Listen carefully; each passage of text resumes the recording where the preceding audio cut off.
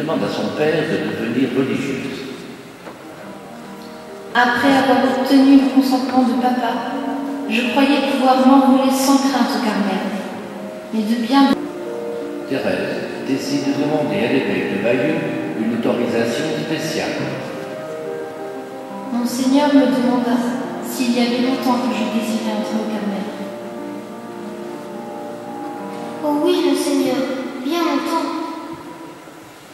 Voyons, vous ne pouvez quand même pas dire qu'il y a 15 ans que vous avez ce désir. C'est vrai, mais il n'y a pas beaucoup d'années à retrancher, car j'ai désiré me faire religieuse dès l'éveil de ma raison, et j'ai désiré le Carmel aussitôt que je l'ai bien connu, parce que dans cet ordre, je trouvais que toutes les aspirations de mon âme seraient remplies. Voyage de la vie éternelle. Ah, quel voyage que celui-là. Lui seul m'a plus que de longues années d'études. J'ai vu de bien belles choses, et mon âme s'est agrandie au contact des choses saintes. Pendant un mois, j'ai vécu avec beaucoup de saints prêtres, et j'ai vu que, si leur sublime dignité les élève au-dessus des anges, ils n'en sont pas moins des hommes faibles et fragiles. Si de saints prêtres que Jésus appelle dans son évangile le sel de la terre montrent dans leur conduite qu'il en pour eux pendant qu'ils évangélisent les âmes par leurs paroles et surtout par leurs exemples. Le dimanche 20 novembre, nous avons fait notre entrée au Vatican. Au pied du Saint-Père, je m'écriai Très Saint-Père, j'ai une grâce à vous demander. Alors le souverain pontife baissa la tête vers moi, de manière que ma figure touchait presque la sienne. Et je jubilé, permettez-moi d'entrer au Carmel à 15 ans. Je ne comprends pas très bien. Très Saint-Père, c'est une enfant qui désire entrer au Carmel à 15 ans. Mais les supérieurs examinent la question en ce moment. Eh bien, mon enfant, faites ce que les supérieurs vous diront. pouvoir de faire pour répondre à ce que le bon Dieu demandait de moi. Mais cette paix était au fond, et l'amertume, Précédé.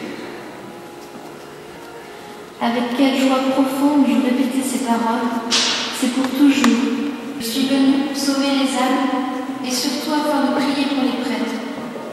Lorsqu'on veut atteindre un but, il faut en prendre les moyens. Jésus me fit comprendre que c'était par la croix qu'il voulait me donner. C'est le nom de Sainte Thérèse de l'enfant Jésus et de la Sainte Grâce qui sera de Ne jamais troubler mon âme, que rien ne trouble ma paix. Jésus, je ne te demande que la paix, et aussi l'amour. Pas plus moi, mais toi, mon Jésus. Que ta volonté soit faite en moi parfaitement, que j'arrive à la place que tu as été devant me préparer. Jésus, fais que je sauve beaucoup d'âmes. le 9 juin 1880.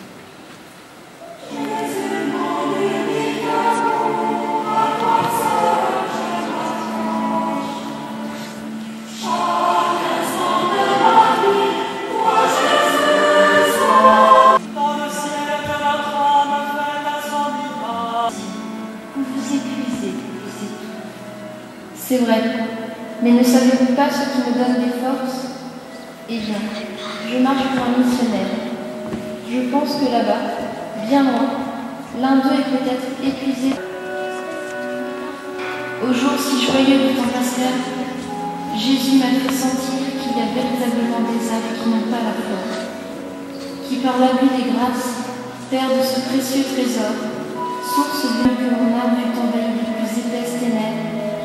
la pensée du ciel si douce pour moi ne soit plus qu'un sujet de combat et de tourment. Cette épreuve ne devait pas durer quelques jours, quelques semaines. Elle devait ne s'éteindre qu'à l'heure marquée par le.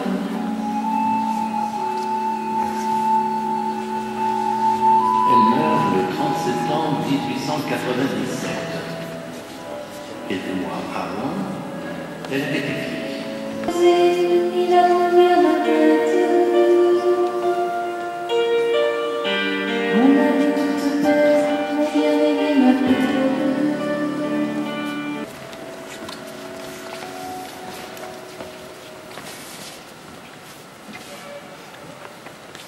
Lecture de la première lettre de Saint Paul apôtre aux Corinthiens.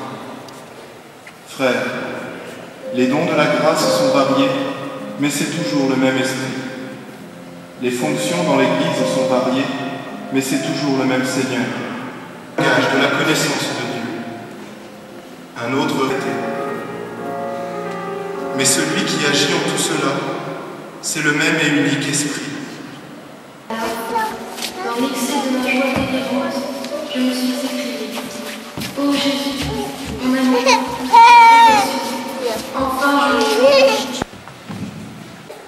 Le reliquaire maintenant va retourner à Lisieux, mais nous gardons dans notre cœur ce message.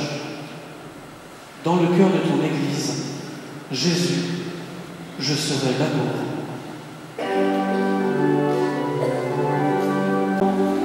Dans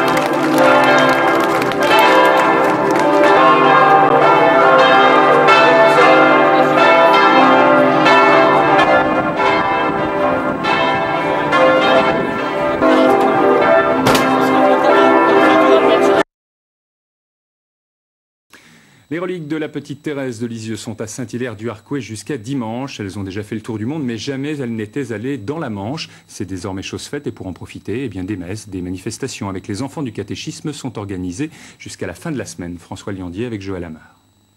Aussi lourdes que précieuses, les reliques de Sainte Thérèse de l'Enfant Jésus pénètrent doucement dans l'église de Saint-Hilaire du Harcouët. Un événement pour la paroisse et pour les paroissiens venus lui rendre un hommage dès son arrivée. J'ai besoin d'elle, qu'elle m'aide dans mes prières et qu'elle aide- elle mes enfants. tellement, te- tellement humili- et dans l'humilité, tellement proche de nous en fait. Les reliques, c'est très bien. Parce que j'ai ma petite fille, euh, c'est la première fois qu'elle voit ça. Le père Valençon est l'un des grands artisans de cette visite. Il a pensé qu'il ne pouvait y avoir meilleur contact pour aider à raviver la foi, car l'exemple de Thérèse touche bien au-delà de ceux qui fréquentent l'église. Elle a euh, connu des souffrances de sa maladie, puis une mort précoce.